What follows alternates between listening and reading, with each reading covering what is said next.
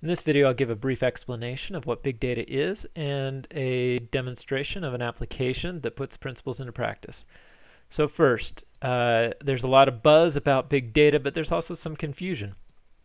So is big data simply a normal database that is bigger? Uh, well, actually no, there's a lot more to it, and in order to try and overcome this confusion, some of the analysts have decided to label it extreme data, uh, but that didn't catch on in the market and people still tend to call it big data. So they've attempted to explain that it breaks down into data volume, data velocity, data variety, and data complexity. So those are various facets of data that definitely do describe um, some of the components of big data. Uh, some of the drivers for big data have been described as sensor data and social data. Sensor being uh, your cell phone that's tracking your GPS signal, your phone calls, let's say, um, your web logs, etc. So anything that is keeping a history of what people are doing. And then social data, obviously, is your tweets and emails and um, or actually more likely your public information. So your tweets, uh, your Google Plus posts, uh, and your YouTube videos. So the difference between these varied types of data, I think, break down roughly into structured data and unstructured data. And really what we're trying to describe is that in the past, we were best at processing structured data, and so that's what we focused on, and the tools were built around that, the relational databases.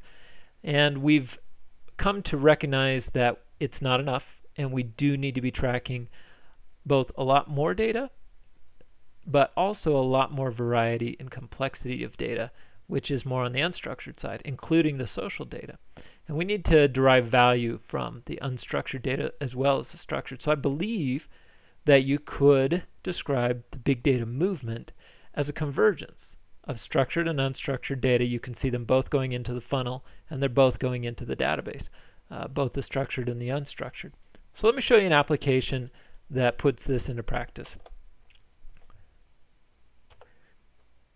So this is the unified search and analytics platform that we've created at Avalon.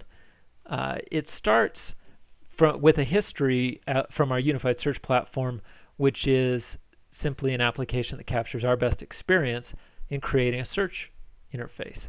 So you can see this is a faceted search interface we just pulled some uh, some data in by going to the um, adverse events database. You could just search for that and uh, you can see here that the FDA publishes all of the adverse events related to drugs or medical equipment um, any, anytime somebody gets sick or dies they put it in this database so that people can track and do things with it. So this is an open data set. Um, we ingested that information and created a faceted search experience. So you could search on any keyword, let's say cancer, and you can see uh, a dynamic summary together with each of the results, the drugs that were involved, what were the reactions, um, what was the uh, doctor's uh, indication, what did the doctor say that the person had and you can you can drill down into these results by any of the facets on the left side.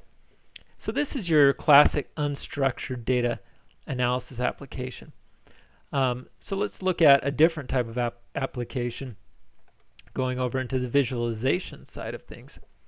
I can drag any one of these columns over to the right side and it will give me a visualization of how the data lies in that uh, across that facet. So for each of the values in that facet group.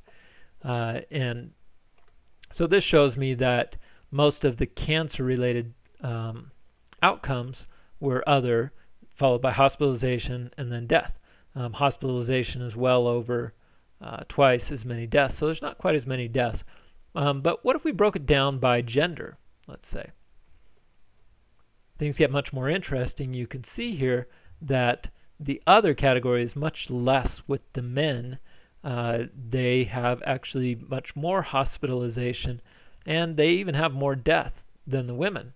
Um, whereas overall, you can see that the women tend to have more uh, reports, and you can see the numbers over here: 38,000 for the women and 18,000 for the men. Uh, but the, ten, the men tend to die more often. So very interesting uh, what we can learn about the data uh, by comparing the outcomes and the genders.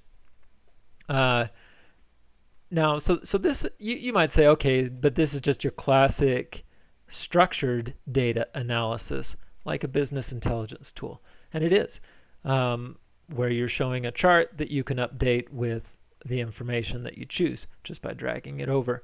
Uh, what's different about this application and what we believe makes it a big data analytics application is that you can come up here and change the search terms. Um, so let's say let's do a, a, full Boolean search. I want to know about skin cancer um, or melanoma.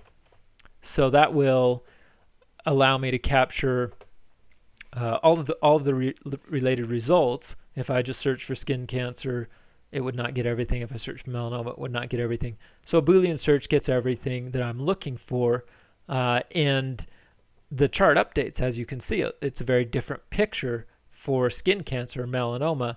The numbers are very different than they were uh, for all cancers. Um, so let's try something different. What about for brain cancer?